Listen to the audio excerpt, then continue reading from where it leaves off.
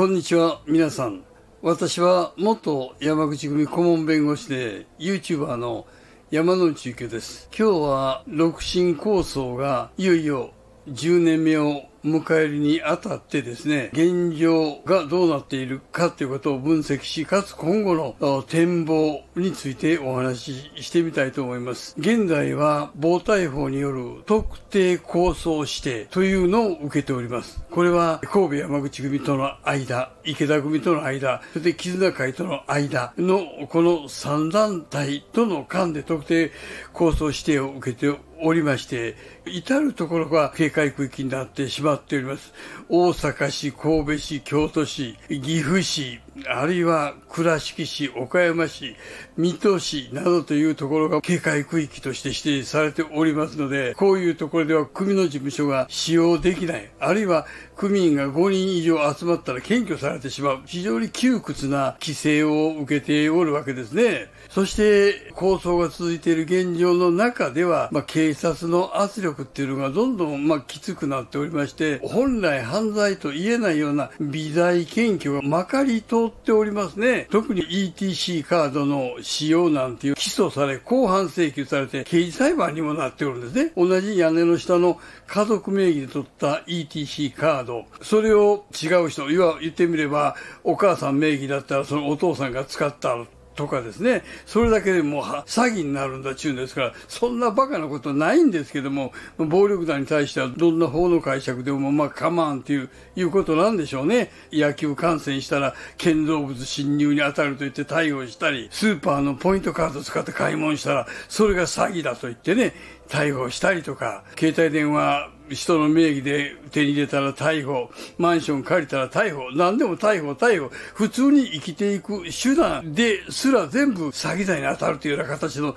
運用がなされております。これじゃもうまともに生きていけない構想状態であるということが影響しているとは思います。それからもう世間では防犯の機運がどうしても高まって行きますね。街中の中で拳銃を発砲したり、車の車両突入なんていうことがありますと、応援する一部ファンもいるのは間違いないんですけども、やはり全体的に批判が集まって、防犯の機運が高まっていくと言ってもいいでしょうね。そうなってきますと、しのぎができないですよね。みかじめ料、森料なんていうのは、本来、用心棒代もですね、本来もヤクザの基本的な収入源だったんですが、それがもう防犯機運の高さによって、って警察で走られるようになって、しのぎできないような状態になってきております。しのぎの幅がどんどん、まあ、狭まっていくということが、まあ、現実問題として起こってきます。それと、事務所の使用禁止が常態化していきます。そうすると、民事裁判が起こって、事務所の使用禁止が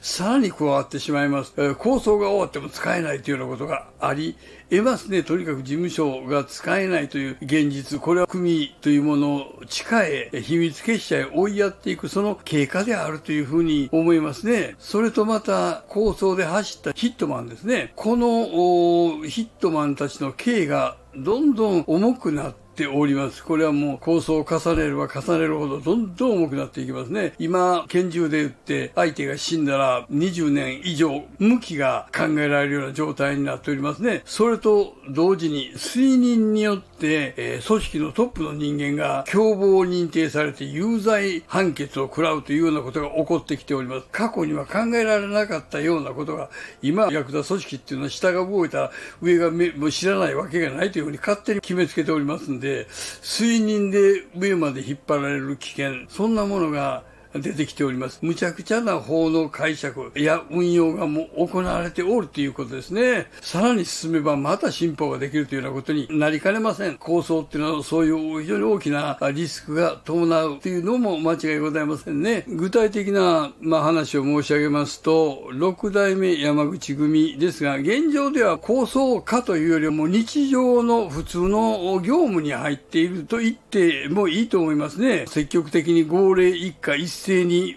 暴力を駆使して相手を追い詰めるというようなことはありません。現実で無理ですし、命令して生かしたり、強制して生かしたりしたら、歌われてしまう、推認でもっていかれてしまいます。ですから、志願してくるヒットマンがいればですね、それはもちろんそれなりの待遇で、その仕事をさせてやるということはすると思います。最後に一花咲かせたいとかね、あるいはどうしてもお金が欲しいとか、まあ愛する家族のために生活圏を残してやりたいとかいう、そういう思いの区民っていうのは絶対出てきますんでね、走りたいんだという人間が出てくれば、やめとけとは言わないですね。それなりに結果を出したら、ちゃんとした栄誉、並びに報奨を与えるという体制は変わらないと思いますね。ですから、あまあ、現状、六代目山口組としては日常の平常業務に戻っていると言ってもいいんですけれども、そういう希望してヒットマンで走る人間が出てくると思いますんで、そういう意味では、反山口組団体のトップは命の保証がないという状態は続くと思いますね。次に神戸山口組なんですけども、最近はもう活動の実態が聞こえてきません。警察庁の発表では23年末時点で400人なんていうふうにま発表されておりましたね。構成員、準構成員合わせてですけれども、でも実態もそんな人数とてもいないと思いますね。活動実体も非常に小規模なものになっているんではないかと思います。当然ながら構想をする意欲や体力っていうのはございません。ですから今の状態は神戸山口組との間では構想というよりは、六代目側が一方的に襲撃することがあるといったような状態になってていると思いますね。それから神戸山口組がですね、将来勢いを盛り返して発展、していくという可能性、将来性っていうのもまずないと思いますね。だからといってえ、解散して引退してということになるかってそうはいかないと思いますね。解散引退ができない事情といういうのがやっぱあると思います。一つには事件を打って逃げてる区民がいるということは、特に菱川区民ですね。菱川区民などは、もし捕まった場合、組が解散してしまっておれば、もう緊張の糸は切れてしまいますね。検察官の誘導に乗ると思いますわ。何もかも供述しなさいと。そしたら、あなたは反省の情が大変深いというふうに考えて検察官としては20年の休憩をするので、15年もあれば出てくる可能性があるので、もう何もかも言いなさい言うたら乗ると思いますね。15年で出てきたらまだ人生ありますからね。ですから、もう解散してしまうと、緊張の糸が切れる恐れがある。また、田三郎一家殺人事件でも逃走中の人がいるわけですから、それらの人のことを考えると、組み立たってしまうっていうのは極めて危険ですから、できないですね。さらに、今、現状でも、神戸山口組の傘下の組織っていうのはあるわけですから、その人たちがですね、辞めるなんて言ったら絶対にクレームをつけますよね。何を勝手なこと言ってるんだっていうと思いますね。引っ張るだけ引っ張ってきといて勝手に辞めるんかいってことになってしまうんで、ただでは済まないということになりますね。それと、トップの井上組長長は他に裁判も引きずってております。京都地裁で2億7千万円の損害賠償義務の判決が出てしまっておりますし、それから5代目山県組中田組長の方からはですね、不動産をこっちによこせという裁判を起こされております。その不動産というのが、花熊の事務所、並びに事務所関連施設、それから北区にある井上組長の自宅、それからさらに現在の本拠地になっております兵庫県の加古郡のその別くまで含めて全部こっちに所有権よこせという裁判も起こされているんですね。こういう状況の中で組を解散して身を引いてしまうと、どうしても押されて弱いですよ。やっぱり組を維持していくっていうのは、鎧兜を身につけているというのと同じことですね。その鎧兜を脱いでしまうと、それこそ袋叩きに合いかねない、と思います。やめるわけにはとてもいかないだろうと思いますね。命の保証はないぞということになるわけなんです。ヤクザの活動がどんどんどんどん衰退していって、ほとんど活動しているかわからないような状態になってきますと、その辺になってくるとわざわざ命を狙いに行くということもなくなっていきますね。活動が縮まるにつれて、命の危険は小さくなっていくということが言えますね。竹中武組長なんかはもう何があっても最後の最後まで頑張り通した、そういう例があります。中野太郎会長も解散って言ってもしなかったですね。最後は解散しましたけども、うん、神戸山口組も一人親方に、えー、なるまで、命の危険がなくなるようなセーフティーゾーンに入るまで、鎧兜を脱がないということはあり得ると思いますね。次に、池田組なんですけども、池田組長自身が資産を持っておりますんで、もういつでも辞めて引退して解散して身を引くということができるわけですね。ですから、解散してご自身が引退するということは可能性はあると思います。でも、それが六代目山口組に対して謝罪して謝っ解散して引退してというんじゃなくて、ご自身の人生として解散して引退するということはあると思いますね。ただ、六代目側に謝罪して解散引退すれば、参加区民たちの身の振り方が六代目に帰っていくのに有利であるということはあるんですけども、ただ池田組長はまあ資産を持っておられるんで、辞めると言って参加の組織から異議が出たとしても、収めきるだけの経済力を持っていると思います。経済力からや年齢から見て、引退はあり得るかもしれませんけども、対6代目に対して謝るという形での引退っていうのはないような気はいたしますね。次に、絆会なんですけども、これはもう何と言いましても、金沢若頭がこれから裁判を受ける身、その裁判も簡単にはいきません。公判前整理手続きで、また何年もかかります。3年以上かかるでしょう。その金沢さんが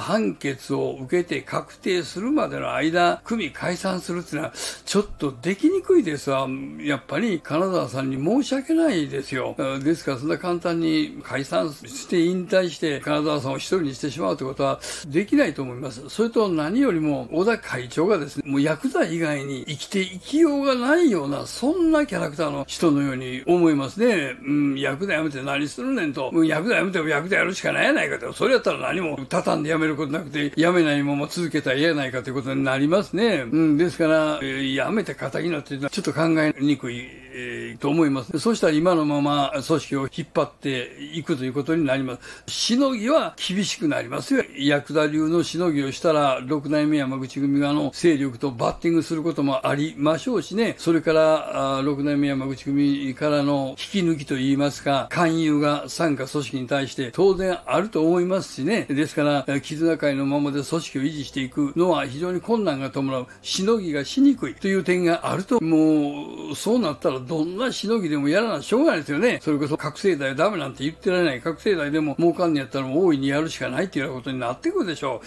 それから特殊詐欺ね。特殊詐欺でもしのぎになるなら積極的にやるとか、場合によっては車の窃盗集団でも率いるなんてことまで開き直るかもしれません。どっちにしてもしのぎが厳しくなるけども、それを乗り切って極度を張っていくということになるのではないかと思いますね。それから、匠組ですけども、匠組の入江さんこそですね、解散引退して親分に謝って、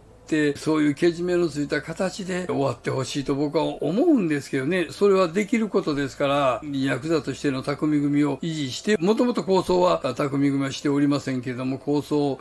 するようなつもりはないですし、将来的にも組が栄えることももうないですし、それだったら、いっそのことをきれいにですね、けじめをつけて、うまく引きをしてほしいなと私は思っております。はい、今日はこれぐらいにしたいと思います。チャンネル登録並びにいいねボタンをよろしくお願いします。ありがとうございます。